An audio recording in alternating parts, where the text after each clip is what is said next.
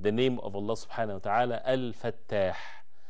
And this name in Arabic, really, we cannot literally translate the name to say that it means this, because it has more than one meaning in the Quran.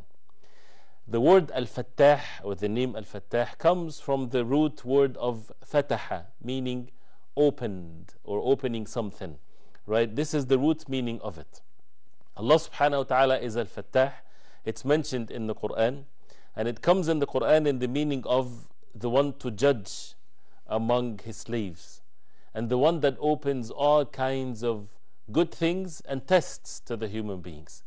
Whether it's the mercy of Allah subhanahu wa ta'ala, Allah subhanahu wa ta'ala is the owner of all things, and He's the most merciful. So, whenever the mercy of Allah subhanahu wa ta'ala comes down, if a gate of mercy is opened for the people, nobody can close it whatsoever, as we will see verses in the Quran that talks about this. Whoever, you know, whenever the mercy of Allah subhanahu wa ta'ala, people are deprived from it, nobody can have the means whatsoever to open it. When it comes to the trials and tests and so on that people face on the face of earth, Allah subhanahu wa ta'ala opened that for the people. Nobody have control of, over it whatsoever.